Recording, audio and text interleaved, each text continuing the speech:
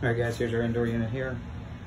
And for a new system, it'll be new return draft. We're very limited on space, so I got about 28 inches from that wall to this water heater.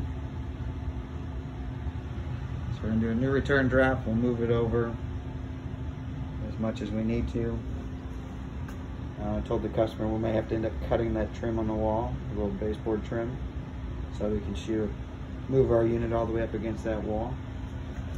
We got flexible electric. Line sets will be new. They go out the wall right there.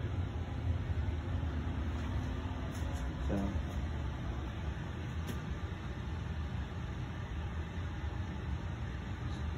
The return drop, filter wise, we're probably gonna do on the bottom, so we'll do a box filter, air handler. I'll put on here whether we're gonna be doing a media or just a one inch filter. Depends on space. Floor drain is here. We're gonna do a new Honeywell thermostat.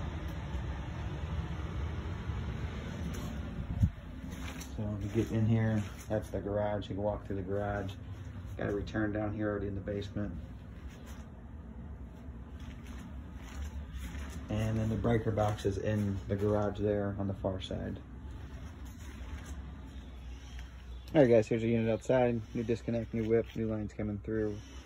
We're gonna cut this wall rack off, set the unit on the ground. Uh, confirm with homeowner if he just wants it straight back in the same spot or if he wants to move it over at all. Or if he wants to move it that way. So we'll set that there. So Brad, take a grinding wheel, cut that down as low as you can, cut that off so we can get rid of that. Whoever poured the concrete just covered it up.